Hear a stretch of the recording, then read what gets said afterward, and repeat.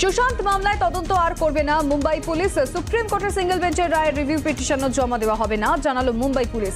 অন্যদিকে সিবিআই এর তদন্তে সম্পূর্ণভাবে সহযোগিতার আশ্বাস দিয়েছেন তারা। তবে তদন্তের জন্য সিবিআই কে কোয়ারেন্টিন ছাড়ের জন্য আবেদন করতে হবে মুম্বাই পুরসভার কাছে। বিএনসির কমিশনার জানিয়েছেন সিবিআই কর্তারা সাত দিনের মধ্যে কাজ মিটিয়ে ফিরতে পারলে কোয়ারেন্টিনে ছাড় পাবেন। সুশান্ত সিং মৃত্যু তদন্তে সিবিআই এর পনেরো সদস্যের দল, কেন্দ্রীয় গোয়েন্দা সংস্থার সেরা মেধাদের নিয়ে তৈরি হয়েছে সেট। এর মধ্যে ছজন সেন্ট্রাল ফরেন্সিক সায়েন্স ল্যাবরেটরির অফিসার। সুশান্তের ময়না তদন্তের রিপোর্ট প্রথমে খতিয়ে দেখবে সিবিআই। কথা বলবেন পোস্টমর্টমে যুক্ত চিকিৎসকদের সঙ্গেও। শুক্রবার সুশান্তের ফ্ল্যাটে গিয়ে ঘটনার পুনর্নির্মাণ করা হবে বলে খবর। মুম্বাই পুলিশ যে ছাপ্পান্ন জনের বয়ান নিয়েছে, তাও বিশ্লেষণ করবে সিবিআই। মুম্বাই পুলিশের পক্ষ নিয়ে এবার সরকারকে করা আক্রমণ শিবসেনার। দলের মুখপাত্রের সামনায় বলা হয়েছে, সুশান্ত মৃত্যু তদন্তে যেভাবে বিহার সরকার নাক গলিয়েছে তা দেশের যুক্তরাষ্ট্রীয় কাঠামোর অপমান। সেনার দাবি, মুম্বাই পুলিশ অত্যন্ত সততার সঙ্গে কাজ করছিল, কিন্তু তাদের তদন্ত পূর্ণতা পাওয়ার আগেই তদন্তভার সিবিআইকে দেওয়া হলো। তিনি সুশান্ত সিং রাজপুতের আইনসঙ্গত উত্তরাধিকারী। স্পষ্ট করে কথা জানিয়ে দিলেন সুশান্ত সিং রাজপুতের বাবা কে কে রাজপুত। তার আইনজীবী বিকাশ সিং আজ জানান, এখন থেকে সুশান্ত সংক্রান্ত সব সিদ্ধান্তই তিনি নেবেন। আজ তাই একদিন পর্যন্ত সুশান্ত বা রিয়া নিয়োজিত সব আইনজীবী, চার্টার্ড অ্যাকাউন্ট্যান্ট এবং অন্যান্য কারও বক্তব্যই বেআইনি। কেবল সুশান্তের বাবা ও তাঁর নিয়োজিত আইনজীবী যা বলার বলবেন। সুশান্ত সিং রাজপুত ও সারা আলী খানের সম্পর্ক নিয়ে ইনস্টা হ্যান্ডেলে পোস্ট সুশান্তের বন্ধু স্যামুয়েল হাউকিপের। তিনি লেখেন, কেদারনাথের প্রমোশন চলাকালীন সুশান্ত ও সারা সম্পর্কে ছিলেন। দুজনেই দুজনের পরিবারকে যথেষ্ট সম্মান করতেন। কিন্তু সুশান্তের সোনচিরিয়া ছবিটি ফ্লপ করার পর সারা সম্পর্ক ভেঙে বেরিয়ে যান। সোশ্যাল মিডিয়ায় স্যামুয়েলের প্রশ্ন, এর পিছনে কি বলিউড মাফিয়ার হাত ছিল? আলিপুর চিড়িয়াখানায় বিদ্যুৎ স্পৃষ্ট হয়ে দুজনের মৃত্যু আশঙ্কাজনক। আরও একজন বেসরকারি বিজ্ঞাপন সংস্থার হোর্ডিং লাগানোর সময় দুর্ঘটনা ঘটে। সকাল এগারোটার সময় হোর্ডিংয়ের খুঁটি পোতার সময় দুর্ঘটনা। প্রথমে বিদ্যুৎ স্পৃষ্ট হন একজন, তাকে বাঁচাতে গিয়ে আরও দুজন তরিদাহত হন। কীভাবে বিদ্যুতের তার সেখানে পড়েছিল তা নিয়েই উঠছে প্রশ্ন। লকডাউনের মধ্যে মর্মান্তিক দুর্ঘটনা চিড়িয়াখানায়, আলিপুর চিড়িয়াখানায় দুর্ঘটনায় বিস্তারিত তদন্ত করবে কর্তৃপক্ষ। অনিচ্ছাকৃতভাবে এই দুর্ঘটনা দাবি কর্তৃপক্ষের। চিড়িয়াখানা কর্তৃপক্ষের আরও দাবি, কয়েকদিন ধরে চিড়িয়াখানায় কাজ চলছিল। চিড়িয়াখানার পক্ষ থেকে আরও অনেক কর্মী কাজ করছিলেন। সেই কারণেই লকডাউনের দিনেও কাজ চলছিল। কিছুতেই লাগাম টানা যাচ্ছে না দেশের করোনা সংক্রমণে। দেশে একদিনে ফের রেকর্ড সংক্রমণ। গত চব্বিশ ঘন্টায় আক্রান্ত হয়েছে প্রায় সত্তর হাজার। দেশে মোট করোনা আক্রান্তের সংখ্যা আঠাশ লাখ ছাড়ালো। সংক্রমণ বাড়লেও কমেছে দৈনিক মৃতের সংখ্যা। মারণ ভাইরাসে একদিনে প্রাণ হারিয়েছেন নশো সাতাত্তর জন। দেশে মোট মৃতের সংখ্যা প্রায় চুয়ান্ন হাজার। করোনায় হার্ড ইমিউনিটির দিকে এগোচ্ছে দেশ। আসার কথা শোনালো দিল্লির স্বাস্থ্য দফতর দিল্লিতে এক তৃতীয়াংশ মানুষের শরীরে অ্যান্টিবডি তৈরি হয়ে গিয়েছে। সেরো সার্ভেতে অংশ নেওয়া উনত্রিশ দশমিক এক শতাংশ মানুষের শরীরে করোনার অ্যান্টিবডি মিলেছে, জানিয়েছেন দিল্লির স্বাস্থ্যমন্ত্রী। চীনের গাফিলতিতেই বিশ্ব জুড়ে ছাড়িয়েছে করোনা। মার্কিন গোয়েন্দা রিপোর্টের সম্ভাবনা আরও জোরালো। জানুয়ারিতে হুবেই প্রদেশের উহানে ছড়িয়ে পড়ে ভাইরাস। মার্কিন গোয়েন্দা সংস্থার দাবি, মধ্য চীনের কমিউনিস্ট পার্টির স্থানীয় নেতারা তা লুকিয়ে রাখেন। বেজিংয়ের শীর্ষ নেতৃত্বকে তখন তারা বিপদের কথা জানাননি, ফলে দ্রুত ছড়ায় সংক্রমণ। চীন হয়ে তা সব দেশে ছড়িয়ে পড়ে বলে দাবি মার্কিন সংবাদ মাধ্যমে। কোভিড আক্রান্ত কেন্দ্রীয় মন্ত্রী গজেন্দ্র সিং শেখাওয়াত টুইট করে নিজেই অসুস্থতার কথা জানিয়েছেন। কেন্দ্রীয় মন্ত্রী গুরুগ্রামের হাসপাতালে তার চিকিৎসা হচ্ছে। গত কয়েকদিনে তার সংস্পর্শে আসা মানুষজনকে কোভিড পরীক্ষা করাতে আর্জি জানিয়েছেন তিনি। এই নিয়ে ছজন কেন্দ্রীয় মন্ত্রী করোনায় আক্রান্ত হলেন। চলতি সপ্তাহে হরিয়ানার মুখ্যমন্ত্রীর সঙ্গে বৈঠক করেছিলেন শেখাওয়াত। করোনাকে জয় করলেন রাজ্যের মন্ত্রী স্বপন দেবনাথ। দিন দশেক আগে করোনায় আক্রান্ত হন রাজ্যের এই মন্ত্রী। চিকিৎসার জন্য তাকে ভর্তি করা হয় বেলেঘাটা আইডি হাসপাতালে। এখন তিনি সুস্থ আছেন। বৃহস্পতিবার হাসপাতাল থেকে ছাড়া হয়েছে তাকে। এর আগে করোনা আক্রান্ত হয়েছিলেন রাজ্যের দমকল মন্ত্রী সুজিত বসু। তিনিও সুস্থ হয়ে কাজে ফিরেছেন। সাপ্তাহিক লকডাউন পর্বে পরপর পর দুদিন গৃহবন্দী রাজ্যবাসী আজ ও কাল দুদিনই রাজ্যে পূর্ণ লকডাউন শহরের রাস্তায় করা পুলিশ, কোথাও মাস্ক ছাড়া বেপরোয়া জনতাকে রুখল পুলিশ, আবার কোথাও লক আটকানো হলো গাড়ি। জেলাতেও পুলিশের কড়াকড়ি, বৃষ্টির মধ্যেই লকডাউন ভাঙার সাজা। বীজপুরে পুলিশের লাঠি, গান ধরে উঠবোস করানো হলো অবাধ্যদের। চোখে সানগ্লাস আছে, কিন্তু মুখে মাস্ক নেই। পুলিশ দেখেই সতর্ক, স্কুটার আরোহী।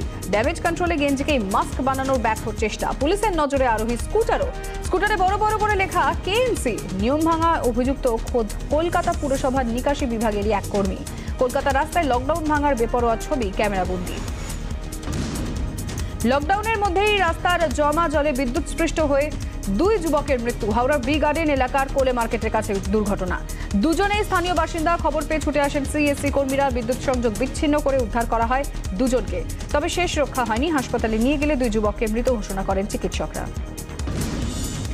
কুয়েতে কাজ করতে গিয়ে মৃত্যু বাঙালি যুবকের সহকর্মীদের আন্দোলনের জেরে শেষ পর্যন্ত দেহ ফিরল তেহট্টের বাড়িতে। বছর দুয়েক আগে কুয়েতে কাজ করতে যান তেহট্টের প্রসেনজিৎ মণ্ডল। দশ তারিখ বাড়িতে খবর আসে, কর্মরত অবস্থায় দুর্ঘটনায় মৃত্যু হয়েছে প্রসেনজিতের। ছেলেকে শেষ দেখতে চেয়েছিলেন পরিবার। অন্য শ্রমিকদের আন্দোলনে শেষে ঘরে ফেরে দেহ। রাস্তা দিয়ে বইছে সমুদ্রের জল। লকডাউনের দীঘায় এমনই জলচিত্র। একদিকে নিম্নচাপ, সঙ্গে কোটাল। দুয়ের জোড়া ফালায় ফুসছে সমুদ্র। সৈকত ছাপিয়ে জল শুধু পাশের রাস্তায় ঢুকে থামেনি, সাগরে নোনা জল শটান ঢুকে পড়েছে বাজারে। জলের স্রোতে ভাসছে পার্ক। গত কয়েক দশকে এমন দৃশ্য দেখেননি তারা, বলছেন দীঘার বাসিন্দারা। রাত থেকে টানা বৃষ্টি, কখনো ঝমঝমিয়ে, কখনো ঝিরঝিরে, নদীর জল বেরিয়ে চলেছে। একেবারে ফুলে ফেফে টইটম্বুর দ্বারকেশ্বর। ডুবে গেল বাঁকুড়া শহর লাগোয়া দ্বারকেশ্বর নদের ভাদুল সেতু। বিচ্ছিন্ন দ্বারকেশ্বর নদের অপর পারে থাকা সোনাতলপল বাড়িয়ারা সহ দশ বারোটি গ্রাম। দুর্ভোগ বেড়েছে বাসিন্দাদের। বাঁকুড়া শহরে যেতে হচ্ছে দশ বারো কিলোমিটার ঘুরে। মনি নদীর জলস্ফীতিতে প্লাবিত রায়দিঘি। বর্ষায় বেড়েছে জলের স্তর। আজ সকালে কোটালে রায়দিঘি বাজারে জল প্রবেশ করেছে। সমগ্র রায়দিঘি বাজারই এই মুহূর্তে জলের তলায়। রায়দিঘির আটটি ওয়ার্ডই জলের তলায় রয়েছে। ক্ষতি হয়েছে ধানগোলাগুলির স্থানীয় বাসিন্দাদের দাবি, অন্যান্য বছর কোটালে অল্প স্বল্প জল ওঠে, তবে এবার অতিরিক্ত জল এসে এমন পরিস্থিতির সৃষ্টি হয়েছে। রাজ্য সরকার আর জিটিএ সহযোগিতায় দুবাই থেকে ঘরে ফিরলেন উত্তরবঙ্গের তিরাশি জন শ্রমিকেরা। দার্জিলিং, কালিম্পং, আলিপুরদুয়ার এবং জলপাইগুড়ি জেলার বাসিন্দা। লকডাউনের সময় দুবাইয়ে শ্রমিকদের সমস্যায় পড়তে হয়েছিল বলে অভিযোগ। রাজ্য সরকার আর জিটিএ প্রশাসনকে সমস্যার কথা জানানোর পর তাদের ফেরানোর উদ্যোগ নেওয়া হয়। দুবাই থেকে গতকালই দমদম বিমানবন্দরে এসে পৌঁছন শ্রমিকরা। রাজ্য সরকারের তত্ত্বাবধানে বাসে করে শিলিগুড়িতে পৌঁছে দেওয়া হয়। নদী না রাজপথ বোঝা দায়। টানা বৃষ্টিতে ভাসছে দেশের রাজধানী দিল্লি। ভোগান্তি আরও বাড়িয়েছে ভয়াবহ ট্রাফিক জ্যাম।